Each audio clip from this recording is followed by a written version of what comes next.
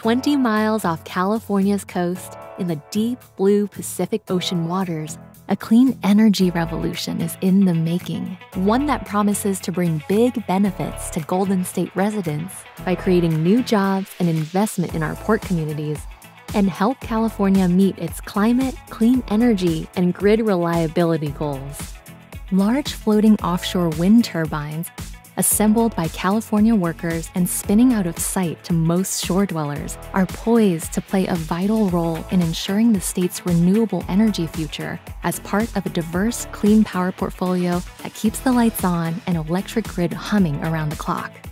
California has long been a leader in climate and clean energy, but when the sun goes down and solar panels go dark, California residents need an alternative renewable energy source turbines tapping offshore wind supply power from strong, steady ocean winds that blow night and day and deliver among the highest capacity factors of any renewable energy.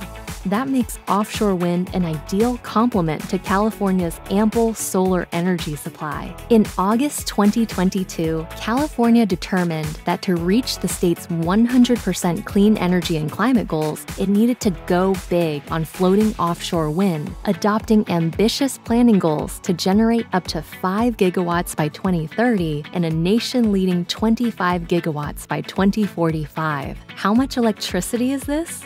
as much as 12 Diablo Canyon nuclear power plants, enough to supply 15 to 20% of California's new clean energy resources and power up to 25 million homes. In December 2022, the Biden administration held a first ever federal auction for California offshore wind, identifying five initial leaseholders to begin deploying floating turbines off the central and north coasts. California is setting a course to be a global leader and hub for floating offshore wind. But while the state is making good progress, it also faces challenges and a lot of work to deliver this remarkable renewable resource at scale.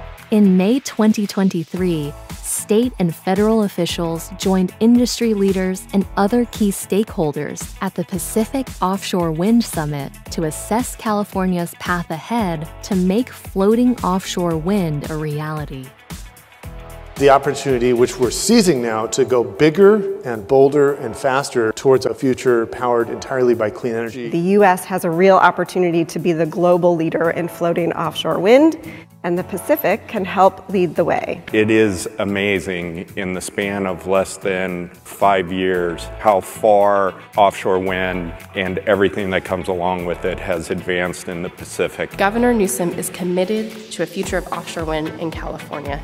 We are on a path to achieve our 100% clean energy future. The future happens here first. We're America's coming attraction. We're laying out a specific strategy to actually achieve our audacious goals. We have laid out ambitious markers 2045, not just 100% renewables as it relates to our electricity grid, but carbon free future in the state of California. One of our specific goals in 2045 is 25,000 megawatts of offshore wind. Offshore wind will deliver a host of benefits for Golden State residents workers, and electricity ratepayers create tens of thousands of good paying, skilled, and trained jobs. Save ratepayers billions of dollars in installed clean power capacity. Help residents avoid the kind of rolling blackouts California narrowly averted in September 2022 deliver real environmental and public health benefits by reducing dependence on fossil fuel plants historically clustered near disadvantaged communities, all while coexisting with other ocean users and protecting California's coastline,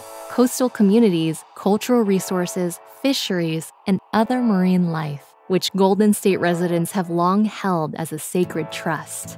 These are the essential next steps that must be taken to deliver these benefits and bring California offshore wind online. Investments in port upgrades and transmission to deploy and deliver offshore wind power to electricity users.